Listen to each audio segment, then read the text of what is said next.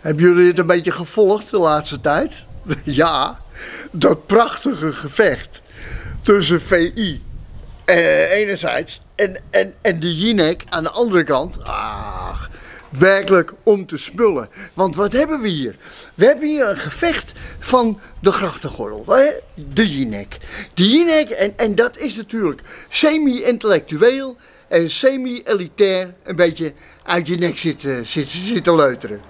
Dat is Jinek.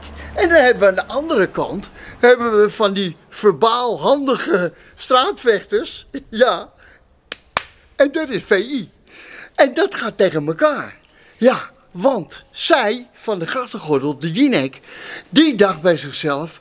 Ja, het gaat niet allemaal weer zo goed met mijn programmaatje. En die werd een beetje wanhopig van dat succes van VI. Dus die begon een beetje van zich af te slaan. Zeker toen al die paniek uitbrak rond het kaarsverhaal bij VI.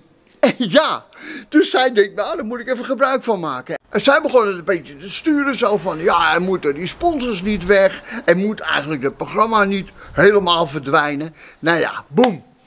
En wat gebeurt er dan natuurlijk? Dan krijg je reactie van VI. Dus die Derksen, en dat zei ik al, die ging, zeg maar, 2.0 gestrekt been erin. Nou, oké, dat was goed en terecht. Maar, daar bleef het niet bij. Nee, want daarna, kijk, ik ken die Dirksen. Ja, die blijft achtervolgen en die blijft op die Jinek zitten.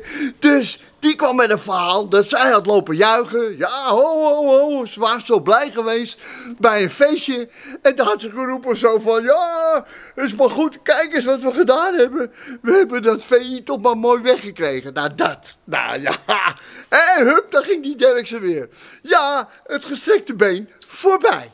Nou, en toen, ja, toen daar raakte de Jinek in paniek. En die ging bellen. Wat een fout. Die ging bellen met Derksen. Oh, gewoon, dat is helemaal niet waar. En het was niet zo. En ja, oh.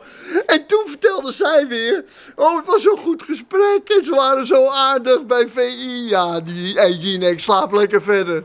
Ha! Die zullen je altijd blijven grijpen en pakken waar ze maar kunnen gewoon. Straatvechters, blijf jij lekker daar je grachtengordeltje doen. Je bent al aan het verliezen. Je weet dat het succes tussen je vingers doorglipt. Hier, als los zand. En daarom ben je zo wanhopig. En dan ga je ook nog bij Bo zitten... En dan ga je daar nog even je straatjes gaan vegen met een bezem.